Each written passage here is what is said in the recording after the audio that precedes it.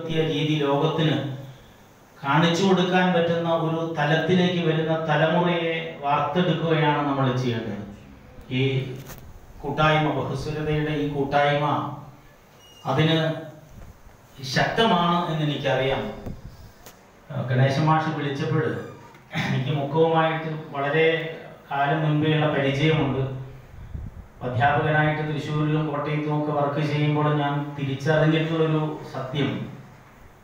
നമ്മുടെ ഇവിടുത്തെ പഴയകാല കൂട്ടായ്മകളാണ്. ഈ സ്വാഗത ഭാഷകൻ പറഞ്ഞതുപോലെ ബാസി മാഷും അതേപോലെ അശോക മാഷും അങ്ങനെ ധാരാളം ആളുകൾ ഇന്ന് നമ്മുടെ ഇടയിലൊക്കെ തന്നെയുള്ള ആളുകൾ കുഞ്ഞ മാഷാവട്ടെ ഞങ്ങളൊക്കെ ഒന്നിച്ച് വർക്ക് ചെയ്തിട്ടുള്ള ആളുകളാണ്.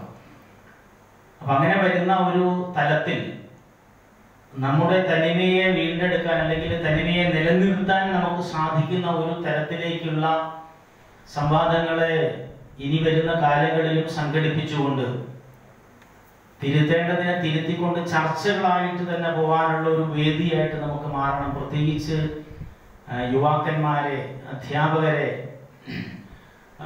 വിദ്യാർത്ഥികളെയൊക്കെ പങ്കെടുപ്പിച്ചുകൊണ്ട് അവരുടെ ചിന്തകളെ തേച്ചു മിനുക്കാൻ കേവലമായ ഏതെങ്കിലും മതത്തിന്റെയോ രാഷ്ട്രീയത്തിന്റെയോ മൗലികവാദികൾ എന്ന് നമ്മൾ ഭാഷ പ്രയോഗം ഏത് തരത്തിലായാലും ശരി നമ്മൾ ഉദ്ദേശിക്കുന്നത് ഇത് മാത്രമാണ് ശരി എന്നുള്ള തരത്തിലേക്ക് മാറാതെ മറിച്ച് ഇവിടെയെല്ലാം ശരിയുണ്ട്.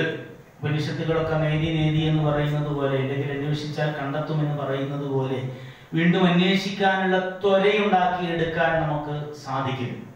അതുകൊണ്ട് വരും കാലങ്ങളിൽ എന്തായാലും ഇത്തരത്തിലുള്ള ചർച്ചകളിലേക്ക് പുതിയ പുതിയ തലമുറകളെ പങ്കെടുപ്പിച്ചുകൊണ്ട് ഈ ചർച്ചയ്ക്ക് വഴിമരുന്നിടുന്ന ഈ കൂട്ടായ്മയ്ക്ക് എല്ലാ ആശംസകളും പറഞ്ഞുകൊണ്ട് തന്നെ കൂടുതലായിട്ടൊന്നും ഇതിനെപ്പറ്റി സംസാരിക്കുന്നില്ല. കാരണം അമിത് മാഷൊക്കെ പണ്ട് ഗാന്ധിജിയുടെ ഈ മാതൃഭൂമി ആഴ്ചപ്പതിപ്പിൽ വർഷങ്ങൾക്ക് മുൻപ് തൊണ്ണൂറ്റി രണ്ടിലാണ് എന്ന് എനിക്ക് തോന്നുന്നു. അമിത് മാഷ ഗംഭീരമായ ഒരു ലേഖനമുണ്ട് അതിനകത്ത്. ഗാന്ധിജി എങ്ങനെയാണ് വന്നത് എന്നതിനെക്കുറിച്ച് ഞാൻ കോളേജിൽ പഠിക്കുന്ന കാലത്ത് വായിച്ചെടുത്തതാണ്.